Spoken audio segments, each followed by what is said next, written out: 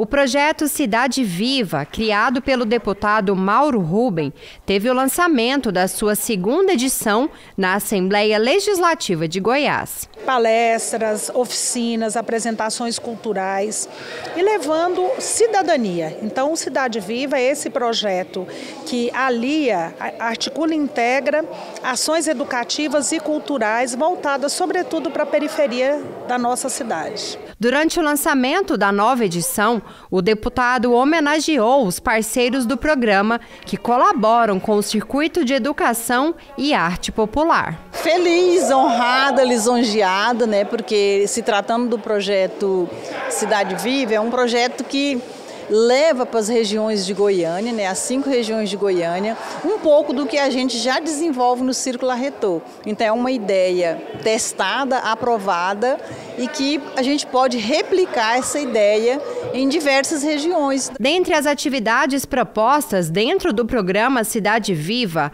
há a capoterapia uma técnica aplicada em idosos pela mestra de capoeira Ana Maria. Melhoram, por exemplo, da parte medicamentosa, né, que eles são hipertensos, diabéticos, eles vão reduzindo a quantidade de medicações, eles conseguem dormir melhor, eles conseguem socializar, conversar, brincar, sorrir, né, coisas que às vezes eles não fazem no decorrer do seu dia a dia em casa.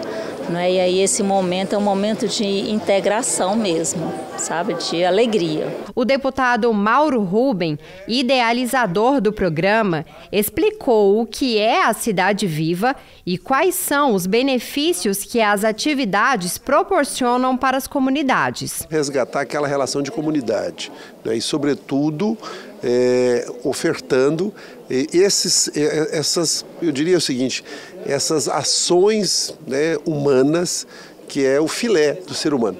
Né? Porque esporte, lazer, cultura, entretenimento, cidadania, e, a, e, nós realizamos através de emendas parlamentares, junto com o Círculo Arretor, e um conjunto grande de, de entidades, coletivos e fazedores é, de atividades culturais nesse espaço. O parlamentar ainda destacou que a proposta, que é financiada por meio de uma emenda parlamentar, será expandida para outras cidades goianas. A Sociedade Viva ele tem uma relação muito forte com, a, com as culturas mais eruditas, vamos chamar assim, com, com a parte das universidades, das escolas de artes e, e todas que são jogadas aí hoje, que estão muito no espaço institucional que nós queremos levar para os bairros e agora como deputado estadual levar para outras cidades.